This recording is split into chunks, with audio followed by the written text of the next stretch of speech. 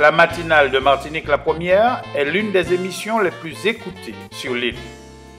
Pour son inauguration et son installation récente, la station fait appel à Éric Jean-Marie, alias Solémé, afin qu'il nous parle de sa passion pour le pays, de ses activités cinématographiques et son amour immodéré pour les voyages.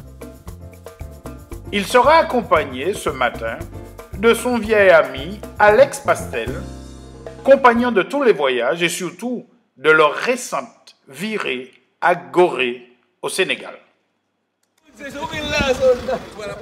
Juste le temps d'échanger quelques mots avec Michel Alibo, l'un de nos plus éminents musiciens de niveau international de l'art caribéen, et de faire connaissance avec son humour. Connu, connu. Allez. La Guadeloupe et Martiniques en force. Monsieur Oui, c'est moi-même. Vous êtes attendu. D'accord. Merci, bonne journée. Bonne journée à vous.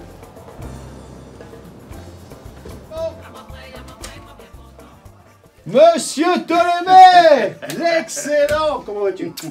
Je suis ravi de t'accueillir à Martinique Première. Euh, ok, c'est Voilà. gentil, c'est gentil. Tu es dans les nouveaux studios euh, depuis vendredi. C'est luxueux, puis c'est tout un honneur pour moi. Euh, bah, écoute, euh, Ok.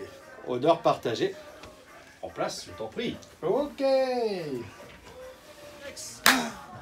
Bonjour. Monsieur Alex Pascal, enchanté. Alex ça va. Bienvenue.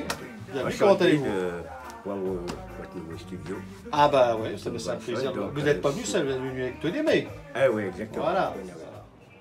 Nous sommes pile à l'heure et la belle Christine Cupid peut enfin donner le journal du Pour matin. aider ceux qui en ont besoin, la collecte nationale de la Banque alimentaire se poursuit dans les supermarchés. Après le journal télévisé et la météo, pendant une bonne heure ou un peu moins, Ptolémée répondra à toutes les questions. L'intervention d'Alex restera dans toutes les mémoires, car empreinte d'émotions et de mots forts, Euh, au moment de parler de Gorée. le Sénégal, surtout Gorée. Donc, Gorée, c'est un lieu chargé d'émotions. L'heure s'est écoulée vite, mais trop vite. Voilà, il est 9 heures. Nous devons nous quitter et faire place à l'inamovible émission catholique du dimanche. Merci. Bon, vous, vous revenez quand vous voulez. C'était, voilà, c'était très, très émouvant. Merci. Merci à vous. À bientôt, Ok. Monsieur Bastel. D'accord. Merci. L'émotion était à fleur de peau.